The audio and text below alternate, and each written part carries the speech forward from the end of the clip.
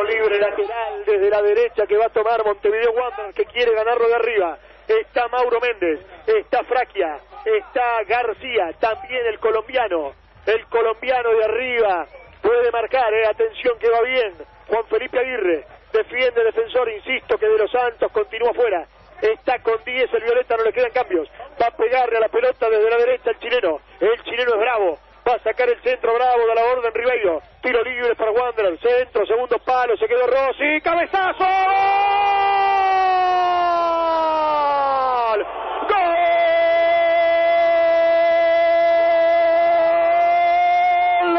Méndez! ¡El salteño Méndez! ¡Mauro Méndez! ¡Dos cabezazos en el área! Por la general termina adentro. Ganó Juan Felipe. Ganó Aguirre por el segundo palo. Les dije que iba bien.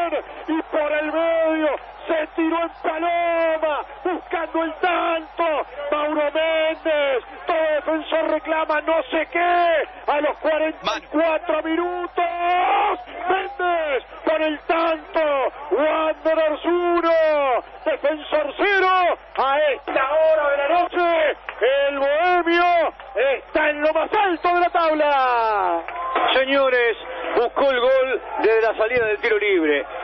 El chileno Bravo, el colombiano Aguirre contra el segundo palo, le hicieron una especie de cortinita, metió el cabezazo de esos que se van adentro, van contra el segundo palo, si la corta por el camino, como lo hizo Méndez, la pelota va adentro. El oriental, el joven Méndez con la número 9, se tiró un palomita, sigue protestando defensor, el gol es lícito, el gol sube al marcador, va a ganar Wander, va a quedar en la punta del torneo, ha hecho un buen trabajo Wander, no encontraba todo el partido, no la tenía toda consigo. En la última del compromiso, cuando nos metemos en tiempo de cuento, dos cabezazos, el gol para Wander, es punta para Wander. Es otro golazo de Superfútbol en Radio Cristal del Uruguay. Respira Cristal.